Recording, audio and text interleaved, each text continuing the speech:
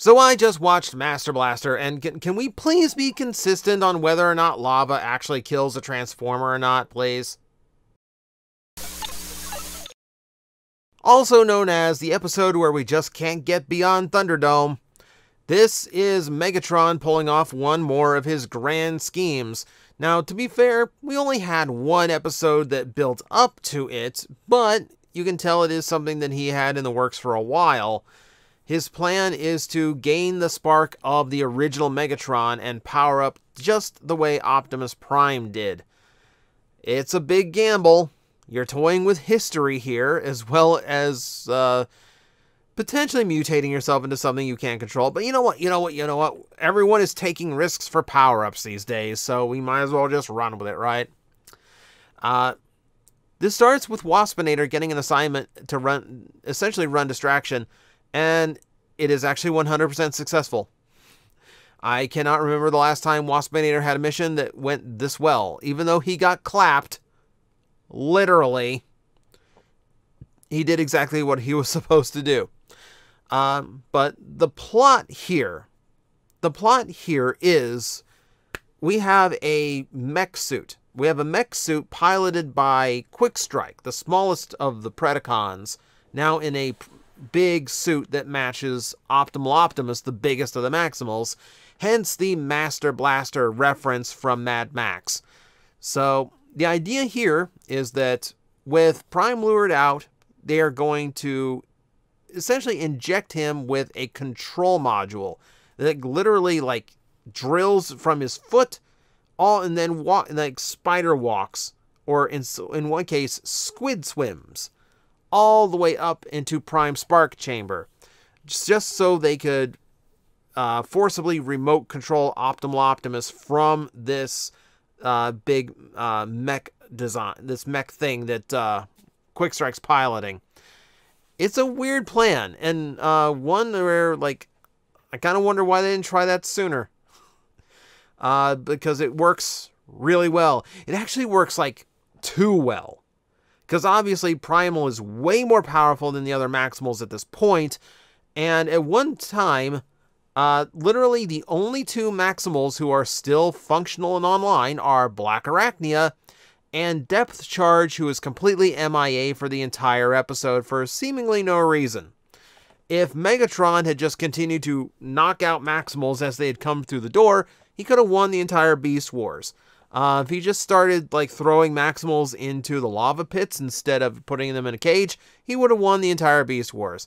This is again where Megatron is a very smart character, but every now and then, for the sake of cartoon logic, he has to do very dumb things, uh, and it it, it it it undermines him a little bit. Not gonna lie, it undermines him a little bit. Uh, so uh, let's see, where were my notes? Um, yeah, it is one of his most effective plans. Uh, it really, like, the really the only things he didn't account for is the fact that this is an episode where you get to see Black Arachnia's Transmetal 2 powers, which is telekinesis.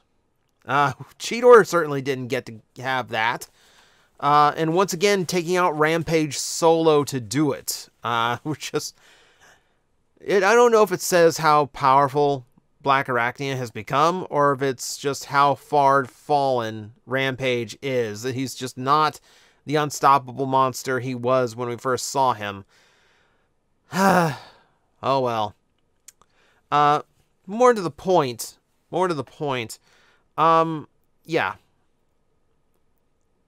Yeah, yeah. So there's another plot hole here. There's another plot hole here. So uh, this whole plan was essentially to get the access codes to the Ark, which, when they were designing this plan in the previous episode, Megatron mentioned, uh, you know, like they, they surmised that Optimus got the codes from Black Arachnia when she was at risk of going offline. Uh, and Megatron mentions that will fit in nicely with the plan we have for him. So, what was plan A? Because Megatron wanted to get into the Ark. What was plan A if Black Arachnia kept hold of the codes and Primal didn't get them? This is why I mentioned, like, if she had passed it off to Rhinox or even Rat Trap, this plan wouldn't have worked. It only works because it was with Optimal. So who is, what was plan A here? Because if plan A was to just punch Maximals as they come through the door, hey, you should have stuck with plan A because it was working. It was working real good. Uh, also, once again, we see Cheetor completely beaten to a pulp and no uh, no self-repairing thing that Transmetal 2s can do. I'm really frustrated when they like introduce abilities and then completely forget to use them. But then again, Transmetal 2 seem to like vary wildly in what powers they get. We'll see that again later in this episode. So, while I do have like my critiques about why this plan really should have been smarter than it was, uh, it is a plan that does seem like a logical step. If Optimus got so much power from absorbing the original Prime Spark, I could clearly do the same by getting the original Megatron Spark. Alright, that's fair. That's a fair conclusion for Megatron to go through. I am kind of surprised he didn't attempt it earlier, and I kind of wish that he had, not only because Primal has desperately needed something that could stand up to him power-wise, so they don't just have to keep, like, knocking him out every episode. Like, this is another example of, like, uh, like, they're writing around how powerful Optimal Optimus is by essentially removing him from the episode for, like, a good half of the of the overall episode, right? Um, they did, you know, they did that in previous episodes in season three, but with with Transmetal 2 Megatron, that's not an issue. He has someone who can compete with. Um, so the crux to all of this is that Tarantulas and Quick Strike either renewed their partnership or never lost it in the first place because they're in on this to actually oust Megatron. And once he's got the spark for Megatron inside him, the original, uh, Quick Strike grabs him with the big primal mech and throws him into the lava. You know, because that took out Scorponok and Terrorsaur, I guess. I guess we can try it on Megatron too. Uh, which number one, um, you threw the original Megatron Spark in there, which would probably much pretty much guarantee the Autobots would win way sooner than they did, and who knows what happens to Predacons then. Good job. Good job there. Um, but also, it it doesn't work. It doesn't work, which is weird because like this is like this is one of the rare moments where Megatron didn't seem to have a backup plan. It didn't seem to have a safety net. He didn't have like a contingency going here. The only like backup he would have had would have been uh, Dinobot 2, who he sent to go get Depth Charge, which, as we said, just stand at the door and punch Maximals. It worked. He didn't need to go hunting anybody down. Uh, uh, but yeah, like it's just weird that he just left himself completely vulnerable like this. Uh, so, okay, so I joke about it here in the episode, but like Megatron obviously rises up from the lava in Transmetal 2 form, completely fine. Uh, Tarantulas gets thrown into lava for his trouble too. He's burned up, but he's still functional. We're going to make this clear. Standard Beast Wars Transformers, yes, lava is lethal. Uh, transmetals, who have a stronger outer coating and are much more powerful uh, transformers overall, no, lava is not lethal. So that there's where your consistency is, right? All right, so just getting that out of the way. Um, there's one thing I do like to point out here uh, before we continue, because like the rest of this is mostly the most of this is twofold. Well, one is just seeing Primal and Megatron battle it out in their super upgraded bodies, and they're basically a match for each other, with Megatron getting the upper hand. He, he can shoot fire and ice now, by the way. Um, you know, and it's, it just it took the combined forces of all the Maximals to drive off Megatron. But the other plot going on here is that Tarantulas is setting the Ark to self-destruct. So once again, we're trying to figure out what Tarantulas' deal is because that would shouldn't that wipe out everybody? We don't know. We don't know the twist to this yet. Remember, so it just looks like he's trying to wipe out all Transformers at this point. Um.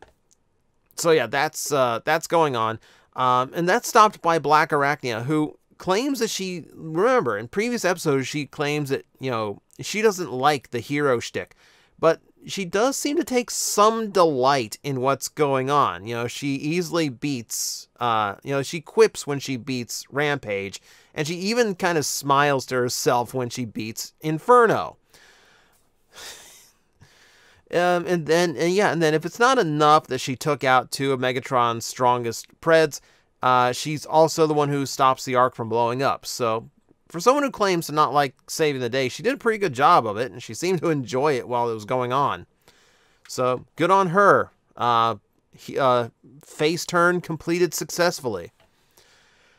So, overall, um, I'm giving the episode overall an enjoyable score. Um, it's great to see Megatron rising up and uh, gaining some more prominence. I really wish it had happened sooner because we're only going to get this form for uh, you know like three more episodes. Um, yeah, and it would have been nice to have like a foil to Optimal Optimus the entire season. Um, so it just it's a little it just comes too late. And yeah, like I said, there's problems with the plot when you start thinking about it logically and gauging that this worked, this is working fine. Why why'd you break from this plan? This plan was working fine. But it is what it is, and it's still a good episode. It's still worth watching. So that is Master Blaster. We've got three episodes to go. Um, I'm probably gonna do uh, Nemesis Part 1 and Part 2 the same day. So, you know, only a couple more days of this Beast Wars reviewing thing. And then we get to start Beast Machines. I'll see you then. Guys, I am facing the most powerful enemy any YouTuber can face, the algorithm, and I need your help to defeat him. Hit the like button, hit the subscribe button, hit the notification bell, and leave a comment. Every time you do, we attack that algorithm and we drive it back until it can no longer defeat this channel. Thank you very much.